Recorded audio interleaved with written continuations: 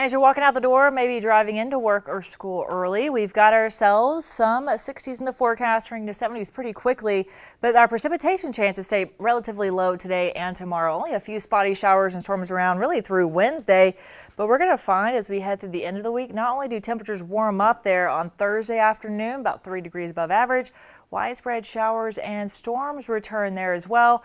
Friday, another stormy afternoon in store before we start drying out for the weekend. Only a few spotty showers on Saturday and Sunday.